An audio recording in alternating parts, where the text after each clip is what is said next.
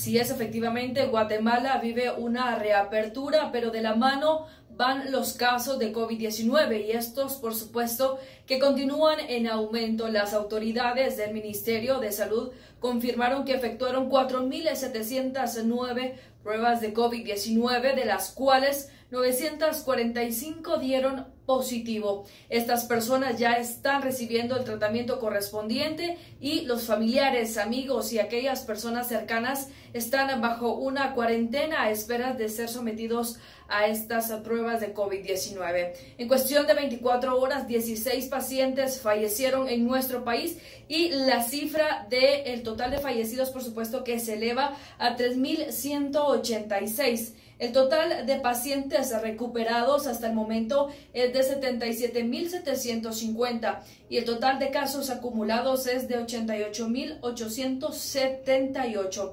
Las autoridades, por supuesto, han manifestado que esperan un segundo brote de COVID-19 y los casos podrían elevarse. Sin embargo, la cifra todavía es realmente alarmante y preocupante. Las unidades del servicio del transporte colectivo están iniciando a operar de manera paulatina la verificación que se está haciendo ha permitido identificar una sobrecarga en estas unidades. Ellos podían prestar este servicio bajo la condición que todos los usuarios tenían que respetar el distanciamiento social y estos buses únicamente estarían funcionando al 50% de su capacidad, pero esto no está ocurriendo. Estas unidades van totalmente saturadas y no se está respetando el distanciamiento físico. Las autoridades indicaron que este domingo podrían cambiar las medidas y podríamos vivir ya un toque de queda más reducido como cuando inició pues los primeros casos de COVID-19 en nuestro país. Estamos todos a la espera de cuáles podrían ser las nuevas disposiciones a partir